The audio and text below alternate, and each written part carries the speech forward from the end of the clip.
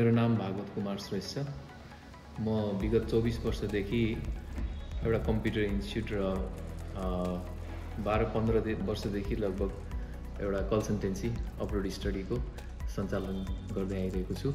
आजभोलि बजारका जति पनि घरहरू छन् त्यो घरहरूको प्रमुख समस्या भनेको जोडेर बनाइएको कारणले गर्दाखेरि मनसुनमा पानीहरू लिकेज भएर त्यसबाट त्यो वालको बिचमा पानीहरू लिकेज भएर वालहरू ओसाउने कामहरू हुन्छ र जसले गर्दा हाम्रो पेन्टिङहरूलाई धेरै नै असर गर्छ। र त्यो पेन्टिङ पछि हुँदै गइसकेपछि नुन जस्तो धुलोहरू आउने। अब हाम्रो त अब यहाँ बच्चाहरू पढ्न आउँछ स्टुडेन्टहरू पढ्न आउँछन्। उनीहरूको चाहिँ कपडामा पऱ्यो भने दाग लाग्ने नजाने त्यस्तो समस्याहरू चाहिँ झेलिरहेको थिएँ। जसले गर्दाखेरि पेन्टिङ गऱ्यो उनीहरू आउँछ पेन्टरहरू आउँछ पेन्टिङ गरिदिन्छ। र दुई चार महिना त ठिकै लाग्छ ओहो राम्रो भएछ भन्ने हुन्छ।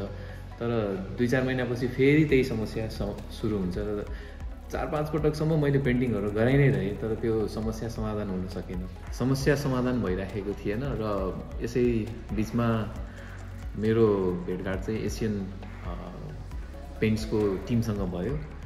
जसमा चाहिँ उहाँहरूले एकपटक तपाईँको अफिसको समस्या हेरौँ न त भन्ने कुरा गर्नुभयो र हामीहरू एक दिन टाइम मिलाएर यो समस्याको समाधान गर्न सकिन्छ भन्ने किसिमले उहाँहरू आउनुभयो। र सम्पूर्ण त्यो भित्ताहरू हेर्नुभयो एउटा मिटर जस्तो ल्याउनु र नाप नाप्दाखेरि त्यसमा चाहिँ पानीको मात्रा बढी देखियो। जसले गर्दाखेरि उहाँहरूले मलाई प्रोसेस यो किसिमले जान्छ यसरी हामीले यसलाई काम गर्छौँ र यसमा युज हुने smart care high hydraulic special त्यो प्रडक्ट हुँदो रहेछ। त्यो चाहिँ उहाँहरूले रिकमेन्ड गर्नुभयो र हामी यसैबाट चाहिँ यसलाई समाधान गर्छौँ भन्ने कुराहरू सबै प्रोसेस वाइज कुराहरू उहाँहरूले मलाई बताउनु भयो जब टिमले यो कामको सुरुवात गर्नुभयो र यो काम सकिसकेपछि लगभग समस्याको समाधान हुन्छ जस्तो चाहिँ मलाई पनि फिल भयो। किन त्यो प्रोसेसहरू सबै हेरिसकेको थिएँ।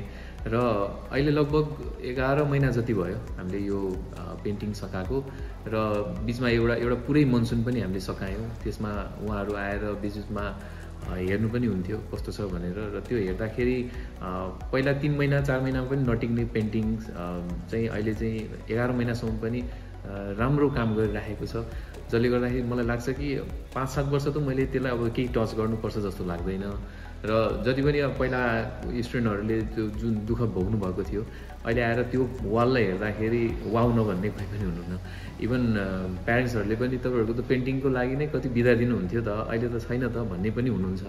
होइन त्यो कारणले गर्दाखेरि सायद अब फेरि पनि कुनै घर बनाउनु पर्ने अवस्था आयो भने त म पहिला चाहिँ यही नै कुरालाई विशेष ध्यान दिन्छु। यो एकदम जरुरी रहेछ।